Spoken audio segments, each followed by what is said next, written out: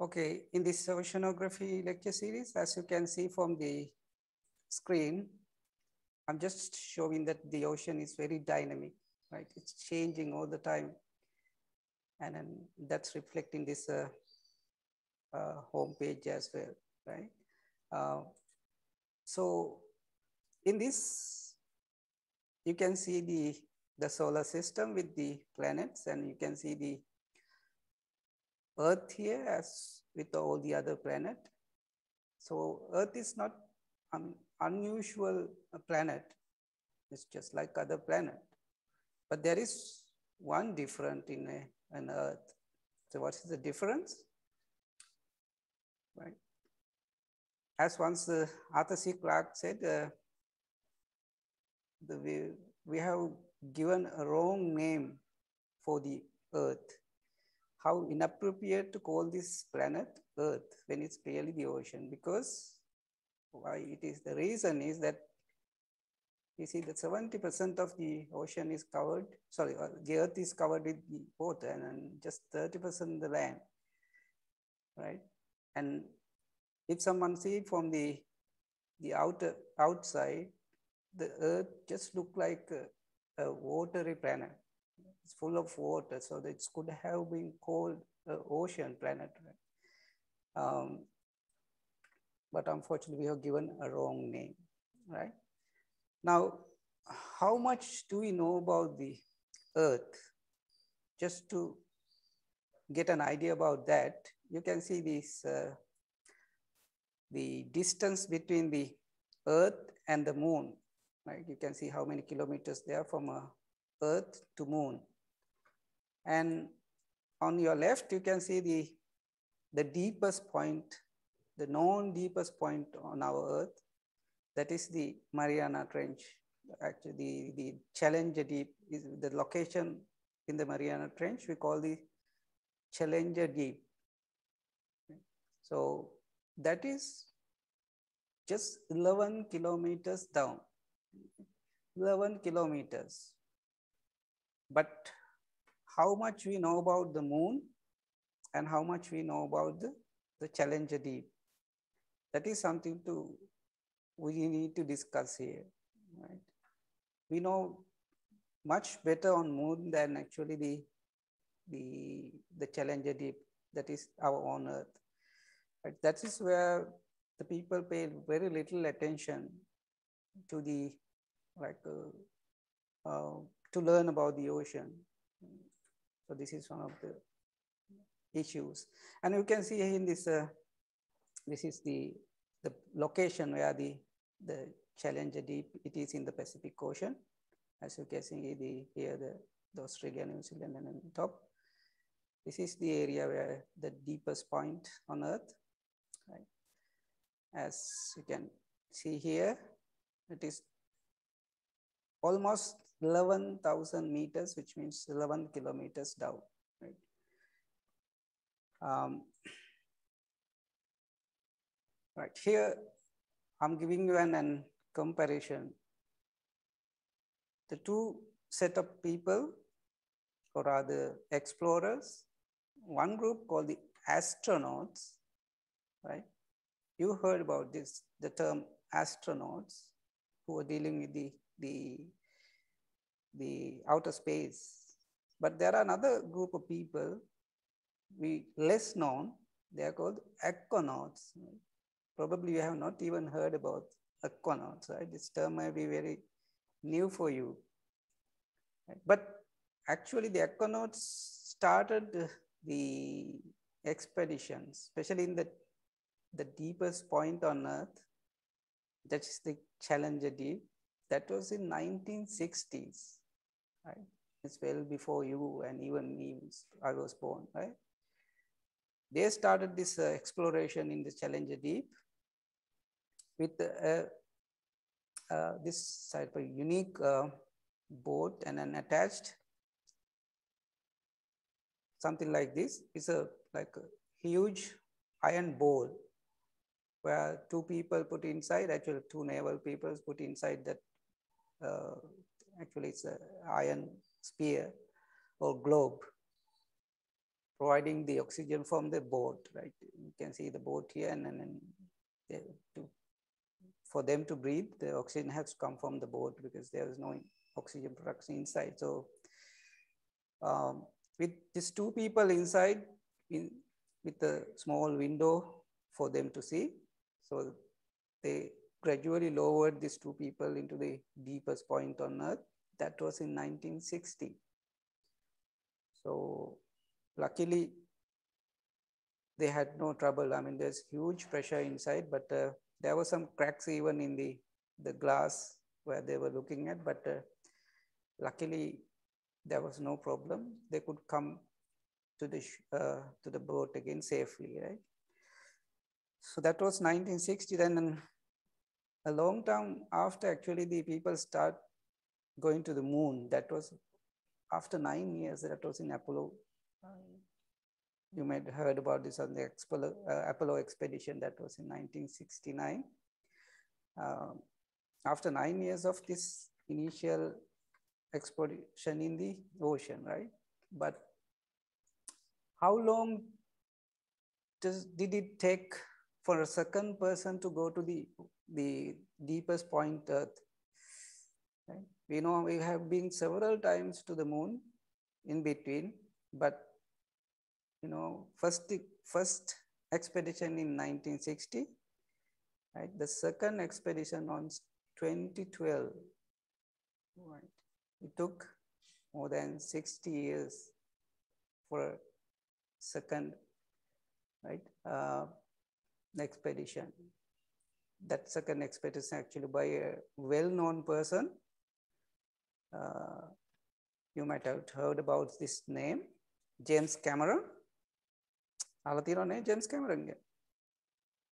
Right, well-known filmmaker, especially the scientific uh, fiction, right? Uh, like aliens, right? Gladiator the avatar and then even the titanic was uh, one of his great creations right so he's the one who went to the the deepest point in 2012. It is actually a solo venture. He went alone. No one was there. Right, you see. Um, you can see the, the, the, the submersible, we call it the submersible, where he used to go down. Right, so he has done a lot of like experiment. He had to control everything, got even the samples and, and and he spent a lot of money on the that, that expedition anyway, right?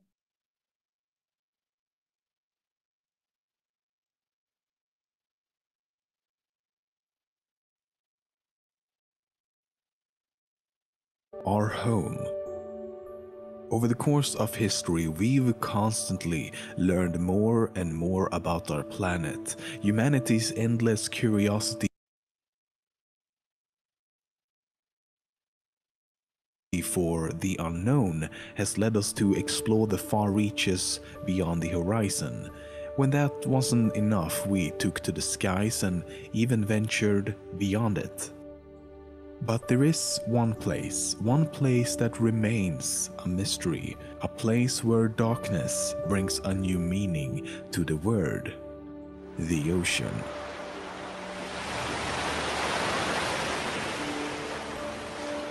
72% of the Earth's surface is covered by water, yet 95% of the world below the surface remains unexplored. We have better maps of Mars and the Moon than we do of the ocean floor. Nearly 50% of all life on Earth is also found in the ocean but scientists estimate that at the very least a million more aquatic species has yet to be discovered, which basically means that theoretically, no matter how unlikely or illogical it might be to us now, there is still a chance, a chance that a talking jello sponge-like creature is enjoying a delicious Krabby Patty right as we speak.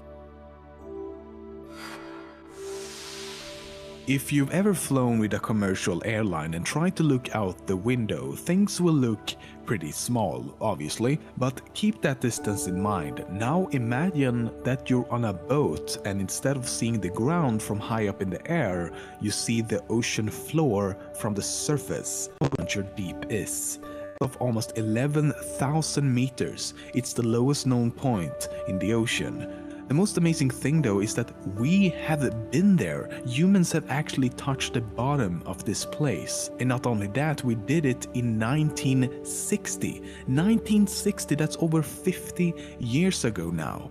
Humans would not visit again until 52 years later, when in 2012, James Cameron, the famous movie director, actually ventured down to the bottom himself. Marine animals have something called cleaning stations. At these stations, fish, sharks, turtles, like and other aquatic life congregate to be cleaned by smaller shrimp and fish-like creatures. When the animal approaches the cleaning station, it will open its mouth and position its body in such a way as to signal that it needs cleaning. The cleaner fish will then remove and eat the parasites from the skin and even swim into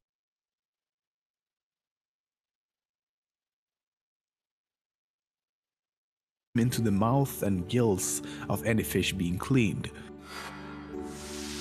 For decades now, scientists have been tracking a mysterious song heard in the depths of the ocean. The song-like sounds have been identified as belonging to a single male whale trying to communicate with others. The problem is that he produces sounds at a frequency of around 52 Hz, but most other whale species sing at frequencies much lower, between the 15 and 25 Hz range. Thus, his singing goes unnoticed no matter how hard he tries, and it's been named the loneliest whale in the world, which coincidentally sounds like a perfect title for a Pixar movie.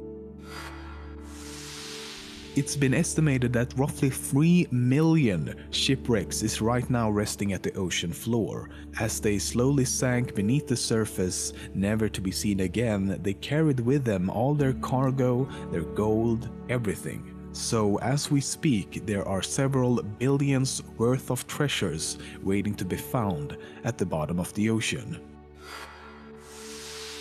In 2012, a video from an oil rig in the Gulf of Mexico spotted a highly unusual and surreal looking creature. It was captured over 1000 meters below the surface, floating around like a sheet or a blanket in the water. The creature was later revealed to actually be a form of a jellyfish, Deepstaria enigmatica to be exact, which is an awesome name by the way. Not much is known about the animal other than that it lives at a depth of between 1000 and 2000 meters. There is something called deep sea gigantism, and it's exactly what the name suggests. It's the tendency for deep sea animals to display a larger size than their smaller, more common relatives. For example, the giant and colossal squid. The colossal is the larger of the two and can grow up to 14 meters long, the average length of a freaking bus. Another example is the Japanese spider crab with a maximum leg span of almost 4 meters. There's also the giant oarfish which can become over 17 meters long and the giant isopod which looks absolutely enormous compared to its smaller relatives. It's not exactly known what is causing the creature's increased size. It could be the result of adaptation for scarcer food, greater pressure, the extreme temperature and complete lack of sunlight or for other unknown reasons. In early 2013, three days after a ship had capsized just outside the coast of Nigeria, a team of divers was sent down to look for the dead bodies of the ship's crew. What they did not expect to find was someone still alive. The ship's cook, Harrison Okene, had in complete darkness survived for three days in a small pocket of air 30 meters below the surface. The only thing he had was a bottle of Coca-Cola. His rescue was also captured on film and has gone quite viral ever since. The Bermuda Triangle has long been considered to be a mysterious place with strange paranormal activity, a place where ships and aircrafts alike mysteriously disappear, never to be seen again. This is not the case at all. Officially, the triangle is not even considered to exist. In fact, the Bermuda Triangle has as many disappearances as any other region of the ocean of similar size, and all the supposed mysteries about the place even happened outside of the triangle. The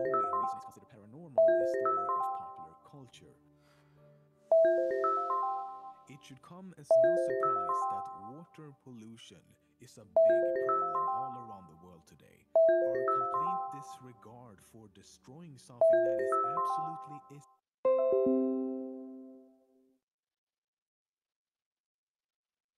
essential for life on this planet is nothing short of astounding. And it's not just about the life in the ocean, it's about life on Earth, humans included. Millions of marine creatures, birds, and terrestrial animals are killed every year as a direct consequence of pollution. In China, over 90% of the water in and around cities is polluted, which should come as a shock to no one as they release around 60 million tons of waste into the ocean every single day. The issue comes down to our inability to account for long term effects. The fact that what we do now, today, could literally mean life or death in just a few short years. But let's not forget about our pollution of the skies. Global warming has an enormous effect on the oceans as well. About 30 to 40% of the carbon dioxide we release into the atmosphere dissolves into the ocean, rivers, and lakes. It reacts with the water to form carbonic acid and starts a process called ocean acidification, where slowly but increasingly turning our oceans into acid. Let me say that again, just to let you know how moronic this really is. We are knowingly, knowingly destroying something that is crucial to our survival and probably the reason we even exist in the first place by turning it into fucking acid.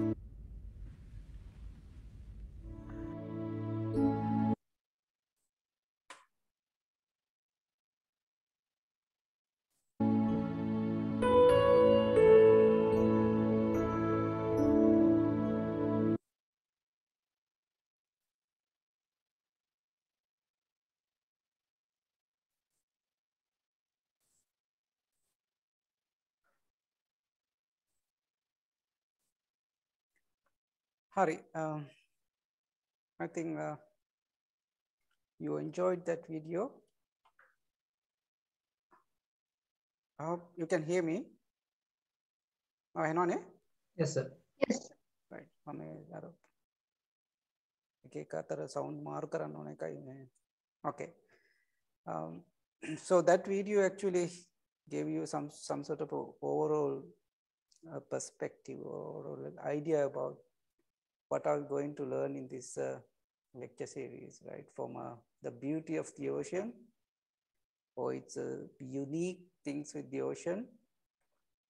And and as well as the the what is the situation with the ocean the, the importance of the ocean as well as the present situation and how the ocean would be in the future right? The, that that video gave some sort of overall uh, perspective right so oceanography the term oceanography sometimes some people use as the marine science as well but uh, it's not the same thing, but I'll explain later on uh, these terms. Uh, not very wrong to call it as marine science as well as, but uh, um, the marine science is a little bit more um, the complicated than the oceanography. The oceanography is very clear what you learn in the oceanography, but marine science a little bit, uh, there are more other things to combine, right? So very simply, the oceanography is the scientific, scientific study of the ocean. Right? But here we learn different aspects of the oceanography and then together with the history and also the, um, the present situation and as well as how would be the ocean in the future. That's what we're going to learn. Uh, basically, the, there are four disciplines in the oceanography, four main disciplines. One of the disciplines we call the physical oceanography. Physical oceanography, where you will study about the waves, the tides, right? the currents, and the, the ocean energy, how the ocean water move, something like that, the physical features of the ocean, right? The next thing, we'll learn a little bit on the geological oceanography, like the how the, the ocean is formed and what is the content, what is in the bottom, what kind of things you can see there, and then how we can study about then what are the methods to study about the ocean bottom because we can't see anything from the above or from the boat. But how are we going to study about the ocean, ocean floor, right? How it is formed, right? So this is these are the things that you're going to learn in geological oceanography. And the third one is a chemical oceanography. Uh, we will be talking about the the the ocean chemistry or the composition of a and also the properties of seawater and how the seawater is moved and mixed and then what are the chemical compounds or the how the seawater is formed likewise and the particularly the, the ocean and land interaction chemical interaction something like that we are going to learn in the, the chemical oceanography. Finally we will read all these the physical oceanographic geological and chemical oceanographic things with biological oceanography. That is the our main interest actually here. We are as biologists, we'll be more interested in the biological oceanography.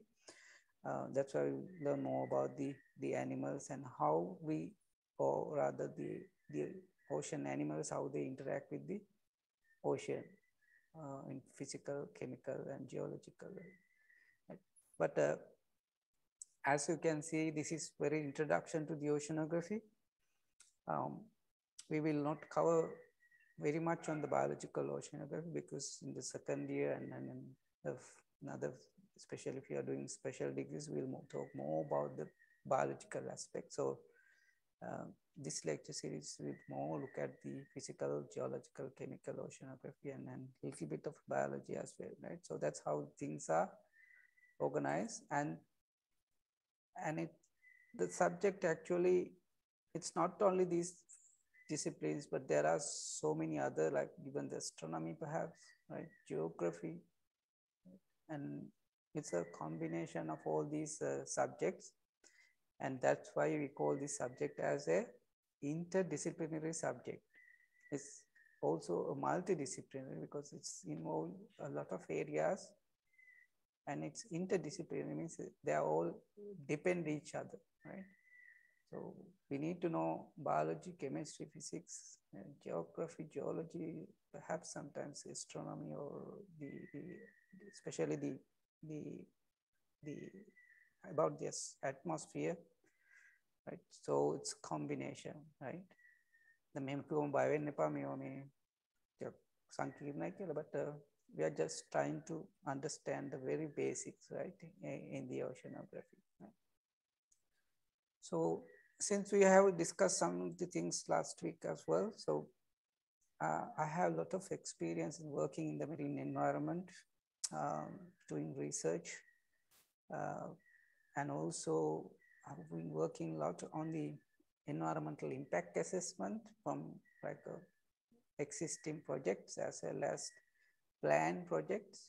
Like if you're going to make a new port or a harbor, we have to do an environmental or we have to get an environmental clearance we call EIA, right? or otherwise environmental impact assessment. Parisara Sakyata Varta right? To get this one, we need to right, do some uh, on surveys.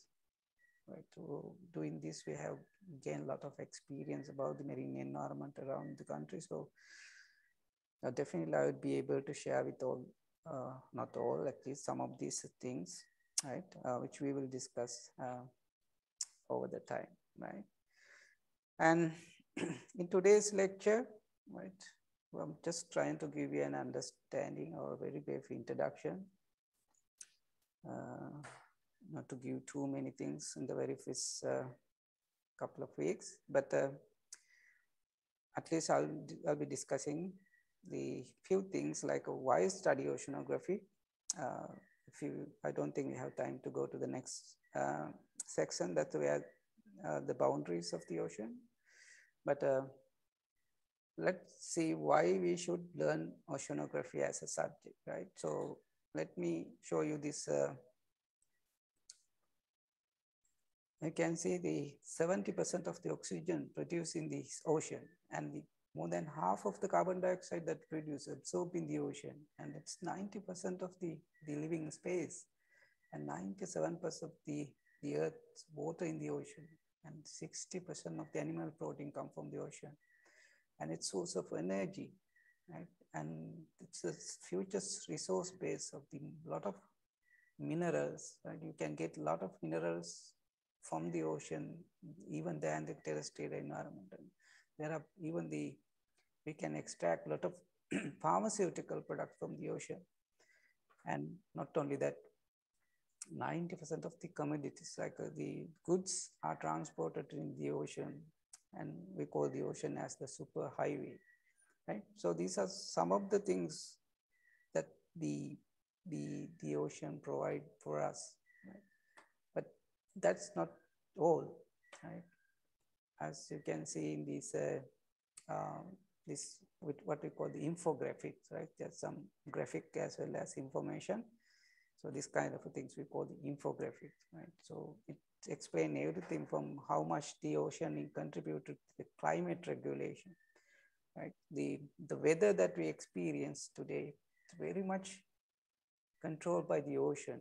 You might have, you know that even the like, like uh, any like low pressure shown in the ocean triggering some of the, the cyclones. Likewise, a lot of things in the, the terrestrial environment or that we are experiencing they actually uh, coming from the, or the regulated by the ocean. And even the, the air we breathe come from the ocean. And we talk about the blue carbon that, that the, the ocean store a lot of uh, carbon dioxide Uh, in form carbon in form of carbon dioxide. Uh, we will discuss this in later. And from the shoreline protection and the, the energy, right? this lot of energy in the ocean if you can extract that energy, right? Even here mentioned that if we can extract 1% of the energy that we have in the ocean, right, that's more than enough to provide the power to the whole world, right? You can imagine how much power is in the ocean, but we are not really extracting this. And the, even the offshore wind power, we can have wind power station and and also the ocean is the habitat for a lot of uh, important habitats like the, the mangroves, the seagrass beds, the coral reefs, one of the most important ecosystems in the planet, right? So these are in the, the ocean and how much food that the ocean is provide for us and how many people live on the ocean and and the other thing is the transportation of goods and tourism and recreation, right? Very much the tourism is depend on the, the, the, the ocean in, in particular countries like Sri Lanka, right?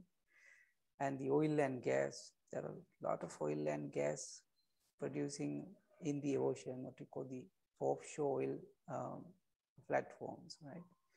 And the income and jobs and medicine. Likewise, there are so many things that we can get from the ocean, but uh, we talk very little about the ocean, right? On the other hand, now the scientists believe that the ocean is the most important place. Like we are talking about now that it's climate change. ආරතිනන්නේ climate change කරක් ගැන හැම වෙලාම කතා කරනවා. ක්‍රයිමට් චේන්ජකටත් solution එක තින් ඇත්තම මුහුද කියනක දැන් ගක්කරට පිළිරන මිටිගේෂ් කරන්න හමත ක්‍රයිමට් චේන්ජක කිසි වෙනසක් කරන්න ඕන්න එකට ඔන හුඟක් දේවල් තියන මුහුද කියර සෝ the ocean going to be a very important for everybody. Right? So that's where we need to learn about the ocean right? So that's not the the case. There are so many other things, right? Like we talk about this alien species, right? You might have seen even the movie, the aliens, right? But this term aliens, are they a culprit or really make a මිත්‍යා ප්‍රබන්ධයක්ද එහෙම නැත්නම් ඇත්තටම තියෙන දෙයක් right just look at the ocean bottoms right these are some of the images of the animals living in the ocean you can see they are they looks very weird right so just like you can call them as aliens right just few images but there are a lot more fish or other marine organisms just look like alien right um, another more important, most important thing is that the, as we heard or as we know, the life began in the ocean. ජීවේ පටන් ගත්තෙත් අපි දන්න විදිහට මුහුදෙන් ඉතින් අනිවාර්යයෙන්ම අපිට හරි වැදගත් මේ කියන්නේ අපේ ආදි හරි අපේ ආදිවාසීන් හරි අපේ පූර්වජයන් ඇත්තටම ආදිවාසීන් කියනකොට එතකොට කොහෙන් හරි මුහුදටයි සම්බන්ධ So it's very important to know that how we descend uh, from that uh, prehistoric creatures from today's, right? And other very important thing is that the water cycle, the carbon cycle, the nutrient cycle, and all the other biogeological cycles that uh, we have on our earth, they're all controlled by the ocean, right? The the ocean provides you all the, the, the basic things for the cycles to run. Right? And that's why we call the ocean as our life support system. Right? The, uh, the ocean is the Earth's life support system, just like uh, the, our heart and the lungs in our in our body. Right? So it's the life support system, right? If, if something wrong, if something goes wrong with this life support system, the whole earth is going to collapse, right? So that's where the, the importance, right? So um, why the ocean is that important for everybody, right? And even the existence of the earth, right? And these two images, we just look at the, the, the the oceans, in particular the coastal ecosystems, and also some coral reef seagrass beds. They're like the Earth's lungs. But these lungs, usually the lungs take oxygen and exhale the carbon dioxide. They inhale oxygen and exhale carbon dioxide. But these lungs, they absorb carbon dioxide and right, exhale oxygen. So very, that's the oxygen that produce, that's the oxygen that will breathe. Right, at the same time, they are the, like kidneys, like filtering out the most toxic substances and any, any other contaminants, in particular the coastal ecosystem, right? So I don't know anyone of you have heard about a woman or the lady or legendary uh, a person called Dr. Sylvia Earle. අහලා තියෙනවද කවුරු හරි? Dr. Sylvia Earle කියලා කෙනෙක් ගැන? නෑනේ. right. අද මේ lecture එකෙන් පස්සේ පොඩ්ඩක් හොයලා බලන්නකෝ. right. You can search in the Google or anywhere about Dr. Sylvia Earle. Right. One of the uh, one of the living right legendary ocean explorers exist. Though she's a, a woman, she has been a, a, like a led one of the uh, like a aquanauts doing a lot of explorations in the ocean, including even like working in the submersible. Um, there are a lot of inspirational uh, talks given by her, like you can search, you know, I can later on, I will show you some of the her talks. Like as you can see, with every drop of water you drink, every breath you take, you are connected to the ocean, right? So there is no exception. right? From every drop of water and every breath that you take, you are connected to the ocean, which means we all connected to the ocean. Though we are like we consider the ocean is like disconnected, right? That's why we are ගාක්කලාට අපි මුහුදට ගාක්කලාට වෙන්නේ අපි බයයි විශේෂයෙන් අපේ රටවල් වල මුහුදට යන්නේ නැහැ. ගෙවල් වලින් යන්න දෙන්නෙත් නැහැ. ඉතින් හැබැයි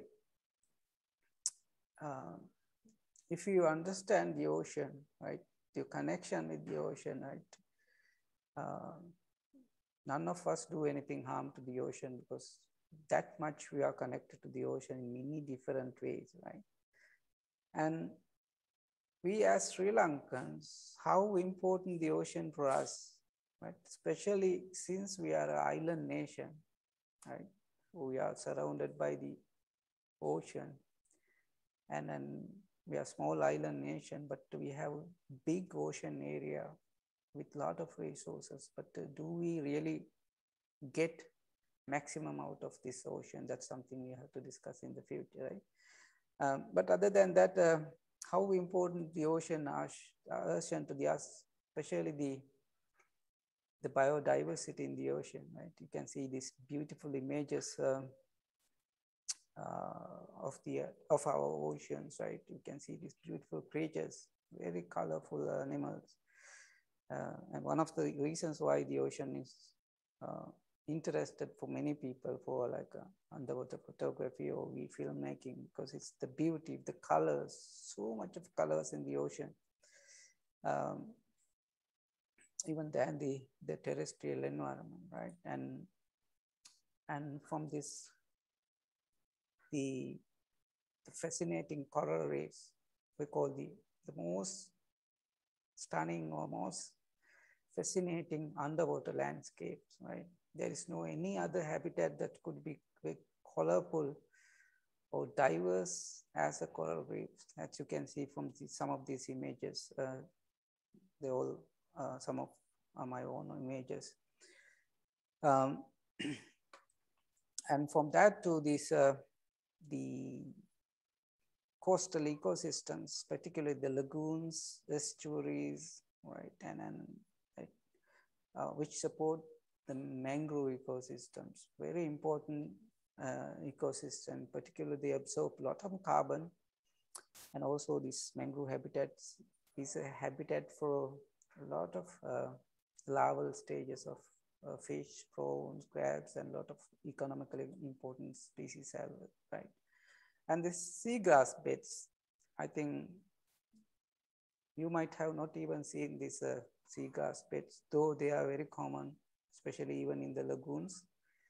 Uh, but uh, you might not have a chance to see seagrass beds where they even these dugongs, Mohudura, where they live, right? Um, this bottom images actually I took in a Jaffna lagoon, where there was beautiful uh, seagrass beds in very shallow waters even, right? right? You can't like you see like it's like a, a grassland when you go when you're snorkeling in a, a seagrass bed. It's just like you are in a, a grassland.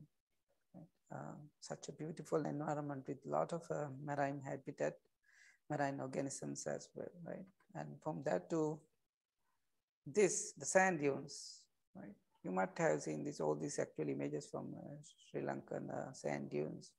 Uh, very interesting. Some are in Bundala. Um, another unique ecosystem. There are unique uh, plants and animal life in the sand dunes as well, right? Um, and the other important thing is this marine life, the marine mammals in particular, right? Uh, from dolphins to whales. um, there are more than 30 species of marine mammals just out in the ocean, right? Uh, and most importantly, right? So I don't know anyone of you ever heard about this one, like, uh, or ever thought of this one. The Sri Lanka is, is perhaps the only the country in the world where you can see the terrestrial giant, that is the elephant, and the blue whale, the largest animal on our planet, right? Both terrestrial one and the aquatic one, they're both in uh, our waters. And um, of course, elephant is not in our water, but sometimes as you can see, they can be in the water as well. But at least within couple of hours time, you can see this both the ocean giant as well as the ter terrestrial giant. I think nowhere in the world you can see this one. And that's why Sri Lanka has been one of the hotspot for both the, the terrestrial giant, the elephant, as well as the, um, the aquatic or the ocean giant, the blue whale, or the, the, the largest planet that ever we had on our planet, right? So it's something very unique uh, with our country, right? And other than that, uh, the the opportunities that we have to get the for the recreational purposes, how much we can get out of from the ocean, right? From um, from diving to aquatic other sports, and, and diving in the shipwrecks or the uh, diving for the marine mammals, as well as for the coral reefs. Right? So it's a lot of recreational activities. Um, and then windsurfing and like uh, kite surfing now. There's a very important uh, sport like in the, the bottom middle. It's called the kite surfing. Now the, Kalpiti area in Sri Lanka like is another uh, world's hotspot for the kite surfing. Very popular sports among some of the tourists, right? Other than that, this uh, some, right? The we talk about the good things, but the bad thing also associated with the ocean, something like this uh, tsunamis and uh, rip currents, which we will talk about. And I already talked about these things last week as well.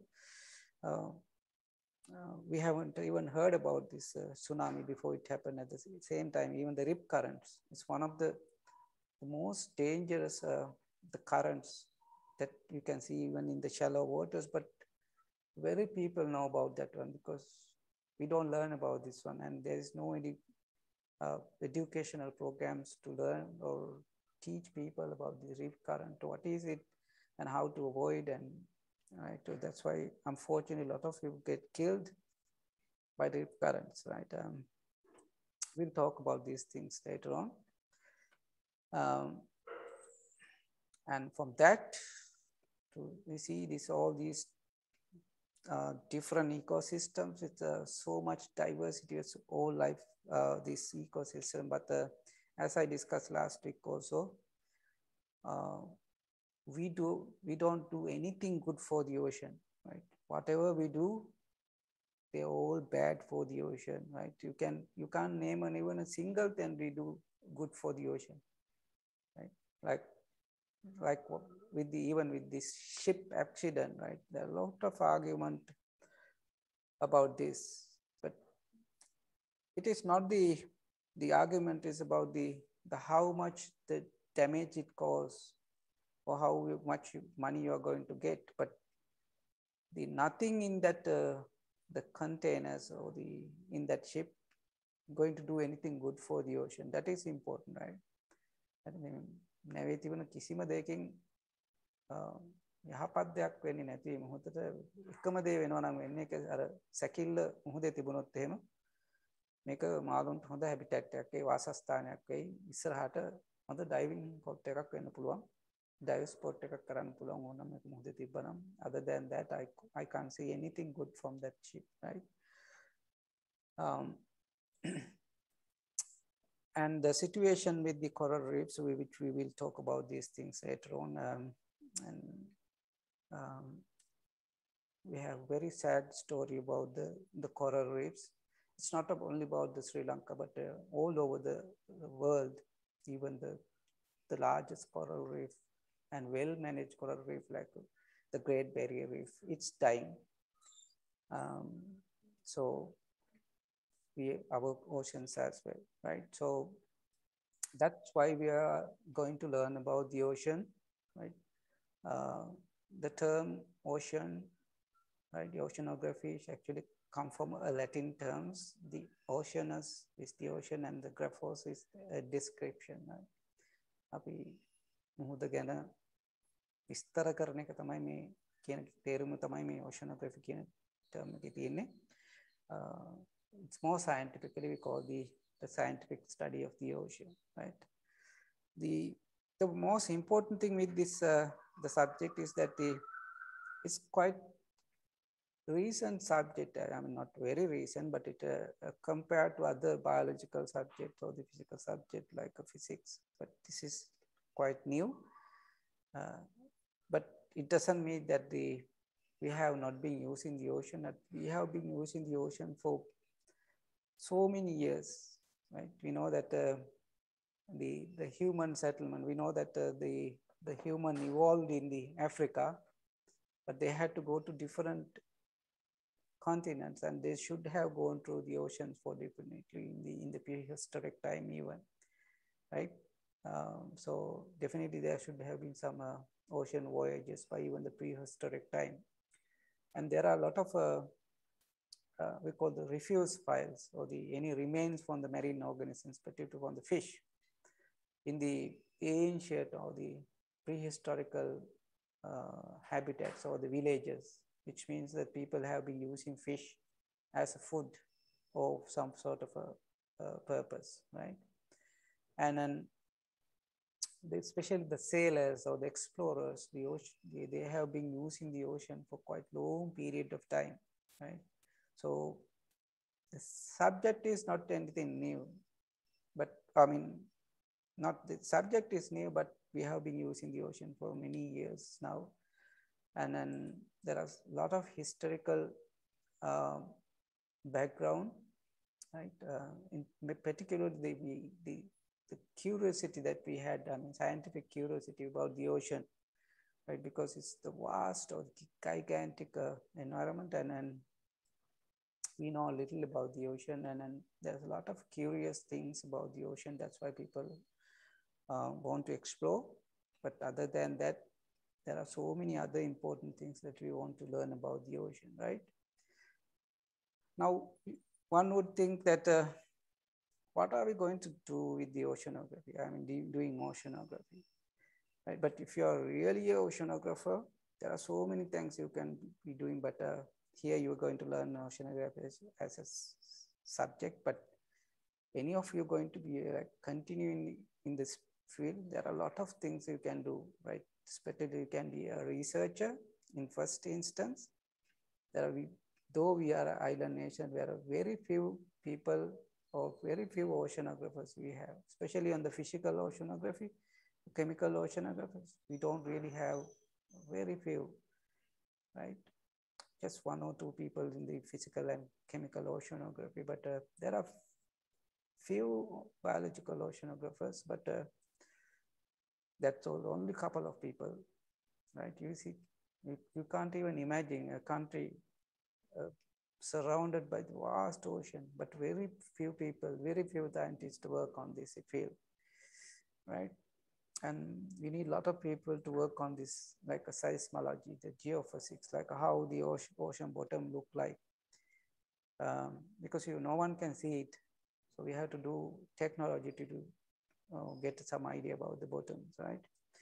And need a lot of advanced technology like AUV for the automated, automated or the autonomous underwater vehicles, right?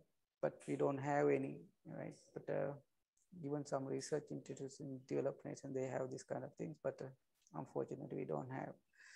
Um, and remotely operated vehicles, ROVs or AUVs, autonomous and remotely. Oh, that's two different things, like these kind of things. I mean, of course, these are like just to know uh, some areas you can. But other than that, um, as I said, you can be a researcher. There are a lot of research institute like uh, like NARA, NAQDA, MEPA, CEA, Department of Wildlife, like, like research institute where we'll be working on the ocean related subjects and also the uh, there is a, a coast conservation department likewise different areas where you can work on right? And and also you can work in the academia just like me right uh, you can be a lecturer at the same time you can be a researcher right an environmental consultant. Right. There are very few marine ecologists and marine biologists to work in this uh, environment in the field of marine consulting, right? Um, so there's a lot of opportunities for people to work, right? so uh, I have given even this, I will share all this uh, with you later on. You can watch this video.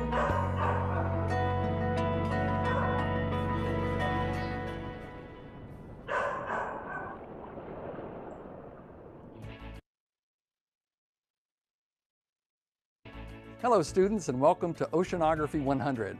I'm Al Trujillo, Professor of Oceanography here at Palomar College and lead author of your textbook. I want to tell you a little bit about this course. Sometimes called Oceanography, Marine Science, or simply the oceans, this course is intended to help you in your quest to know more about the ocean. As you learn about the ocean, I hope that it elicits a sense of wonder and a spirit of curiosity about our watery planet.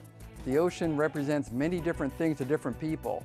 To some, it is a wilderness of beauty and tranquility, a refuge from hectic civilized lives. Others see it as a vast recreational area that inspires either rest or physical challenge. To others, it is a mysterious place that is full of unknown wonders, and to others, it is a place of employment unmatched by any on land. To be sure, its splendor has inspired artists, writers, and poets for centuries. Above all, take time to admire the oceans. The scientific study of oceanography is typically divided into four main academic disciplines or subfields of study with much overlap. They are, first, geological oceanography, which is a study of the structure of the seafloor and how the seafloor has changed through time, the creation of seafloor features, and the history of sediments deposited on it. Second, chemical oceanography, which is the study of the chemical composition and properties of seawater, how to extract certain chemicals from seawater, and the effects of pollutants. Third, physical oceanography, which is a study of waves, tides, and currents, the ocean-atmosphere relationship that influences weather and climate, and the transmission of light and sound in the oceans. Fourth, biological oceanography, which is a study of the various oceanic life forms and their relationships to one another, adaptations to the marine environment, and developing sustainable methods of harvesting seafood. Other disciplines include ocean engineering, marine archaeology, ocean policy, and marine education.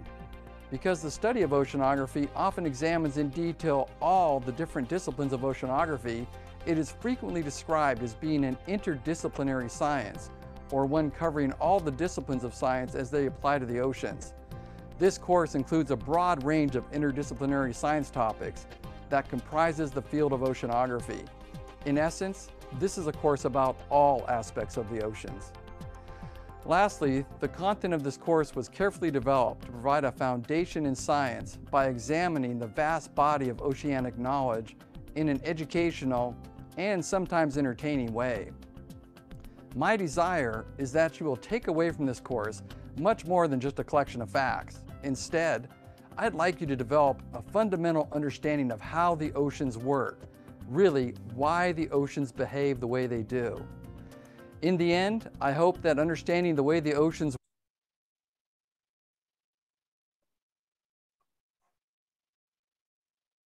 work will foster an appreciation of the marine environment and a desire to help preserve it.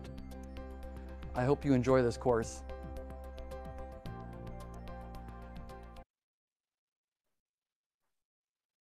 Hari, um, I just show that uh, video because uh, he is one of the authors uh, in the in the one of the textbook in the oceanography as well as a, a um, researcher in the oceanography was also a teacher. Um, I, I just want to show you that uh, what we are what you are going to learn in this uh, lecture series as well, right? So never underestimate, right? We have gone through what the the world's elsewhere is teaching, how they are teaching, what is teaching in the, the best universities in the world. Right? We are getting some insight or getting some ideas from, from them, like how they are teaching, and we also adapting that same things, or not the same thing, but at least the the best thing that we can use them in for our purposes as well. That's why I'm so, so I hope you can get, a, I mean, sort of a maximum out of this course uh, on the particular subject, right? Um, just to give another few things, uh, since we are almost running out of the time for the today's, um, there are a few textbooks, unfortunately, um, you won't be able to see them. The, this first book, uh, The Oceanography by the Gross, um, this is available in the library. Um, but uh, How the Ocean Works, this is another book. Uh, um, uh, but it's not in the library, but I have a copy as well as, but this oceanography also, there's a, a copy in the, the library and marine biology by